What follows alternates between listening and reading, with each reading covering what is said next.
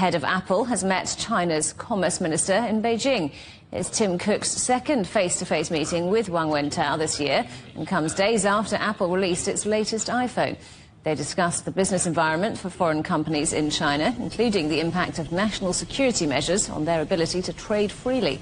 They also discussed China-US trade tensions.